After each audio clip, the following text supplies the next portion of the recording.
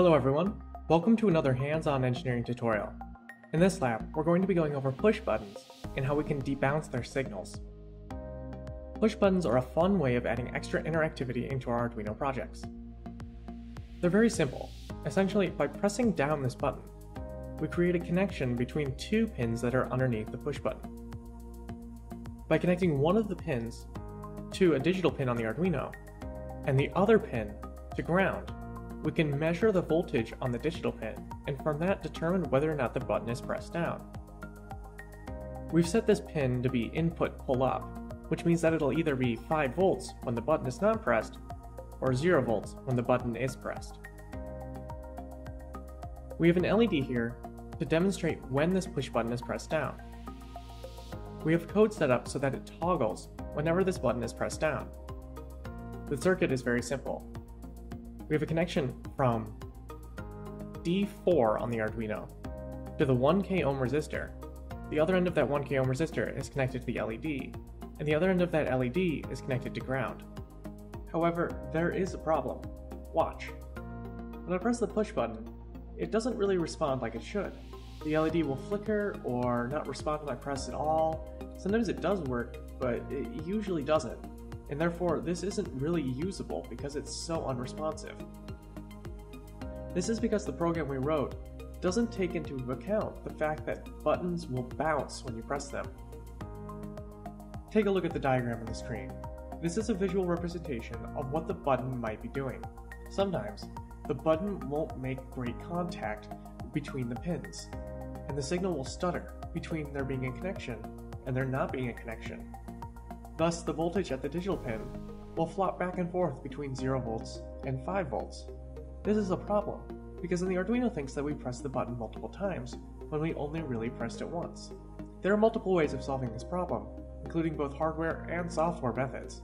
In this lab, we're going to be going over how to debounce this signal using software. Let's go over the code so that we can actually debounce the signal. This is the code we're going to be using, to handle the button pushes and debounce them.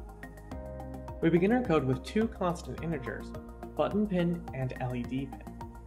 Button pin is set equal to 2 because we connected the button's output to digital pin 2 on the Arduino. LED pin is equal to 4 because the LED circuit is connected to digital pin 4. After that, we have a long unsigned integer, previous time, which we set equal to 0.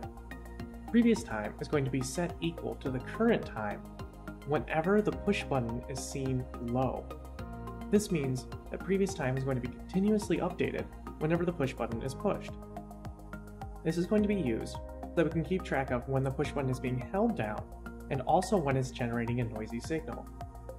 If the amount of time that's passed since our current iteration through the loop is less than some threshold time, then we'll determine that the push button is either being held down or some noisy signal is what's being generated.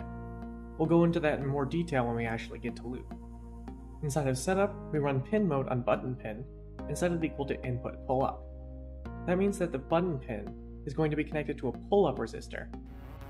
Thus, when no current is allowed to flow through the system because there's no path to ground, the digital pin at button pin will see 5 volts. When there is a path to ground, the digital pin will be grounded, so 0 volts. This will create our two states, so we know whether or not the button is pressed down.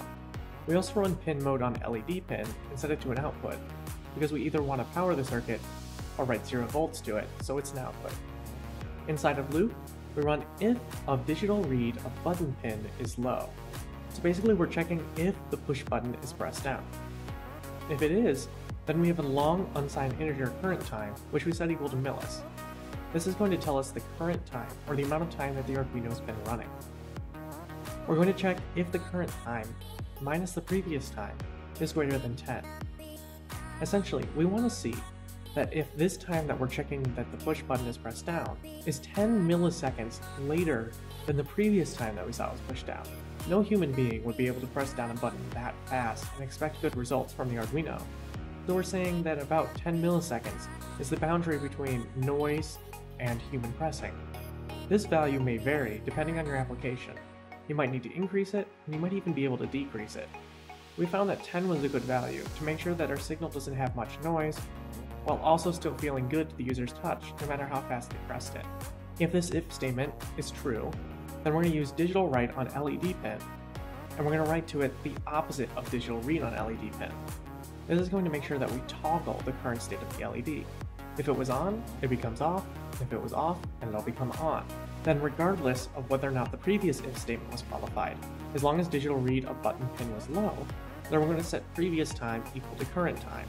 Thus, whenever our digital read is low, we're going to continuously set previous time equal to current time, so any noise and holding down of the button will simply be disregarded, and we won't toggle the LED. Now let's go see what this code looks like in action. So when I press the push button, the LED toggles, it doesn't flicker or fluctuate or not respond to any of my presses, it seems to be working correctly even when I press it quickly. This is much better than it was before, and would actually feel good if you implemented it into a system. Alright everyone, that's it for this lab. We hope you enjoyed it and learned something new about how to use push buttons in your circuits. If you did, make sure to leave a like and subscribe to our channel. Feel free to leave recommendations for future videos or things we can show in our videos in the comments below. That's it for Hands-On Engineering. See you next time.